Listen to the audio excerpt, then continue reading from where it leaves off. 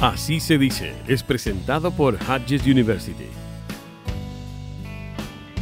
Y hoy continuamos con la revisión semanal de los verbos y expresiones y esto es gracias a la contribución de Hodges University que le ofrece clases de ESL o de inglés como segundo idioma. Vamos a revisar el listado de los verbos seleccionados para esta semana para que la próxima vez que los escuche sepa de lo que le están hablando. El primer verbo de la clase de así se dice de esta semana lo usamos en ocasiones cuando escuchamos sobre un nuevo trabajo y estamos hablando del verbo buscar o seek. Buscar o seek. Vamos al ejemplo.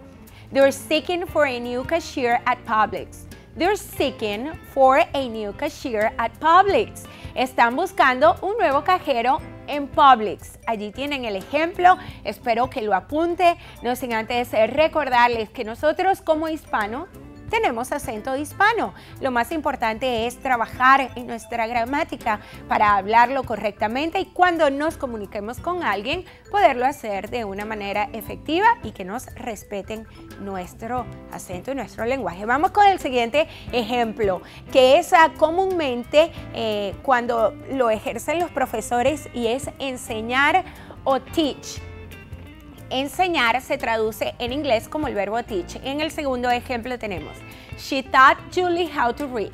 She taught Julie how to read. Ella eh, le enseñó a Julie cómo leer.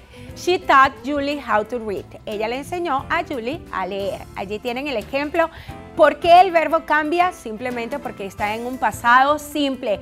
El verbo teach es un verbo irregular y es por esto que no se le aplica ed como otros verbos regulares, sino que simplemente cambia completamente la forma de la estructura. El próximo verbo de la clase de hoy es wake, despertar, wake, despertar. En el ejemplo lo utilizamos de la siguiente forma. It was cold and dark when I woke at 6.30 a.m. It was cold and dark when I woke at 6.30 a.m. Estaba frío y oscuro cuando me desperté a las 6 y 30 de la mañana. Estaba frío y oscuro cuando me desperté a las 6 y 30 de la mañana. Allí tienen el verbo. Vamos con el tercero de la clase semanal del día de hoy y lo usamos cuando queremos planificar un evento especial o cuando nos ponemos a pensar qué vamos a hacer. Y este verbo lo utilizamos diariamente y es el verbo think. Think, que es pensar. Veamos el ejemplo. Let's think what we can do for Halloween. Let's think what we can do for Halloween. Vamos a pensar qué podemos hacer para Halloween. Let's think what we can do for Halloween. Vamos a pensar qué podemos hacer para Halloween. ¿Ven qué fácil? Vamos con el último verbo de la clase de así se dice de esta semana y lo encontramos con frecuencia cuando eh, leemos o escuchamos una historia de delito. El verbo es robar, que quiere decir steal. Robar, que quiere decir steal. En el ejemplo, she stole $100 and clothes from the store. She stole $100 and clothes from the store. Ella se robó 100 dólares y ropa de la tienda. Allí lo tienen. Ella se robó 100 dólares y ropa de la tienda. Estos son los ejemplos que hoy queremos eh, darle aquí en la clase de Así se dice en De Latinos al Día. ¿Se dio cuenta?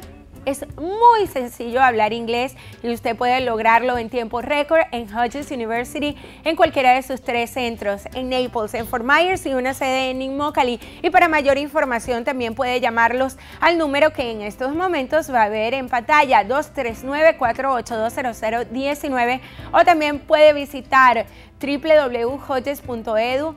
Recuerde que el aprendizaje de inglés es simple, eso sí, gracias a la ayuda que ofrece Hodges. Usted podrá encontrar más información a través de nuestro sitio en internet y es a, través de www.delatinos.tv. Allí usted puede practicar estos verbos, hacerla una y otra vez.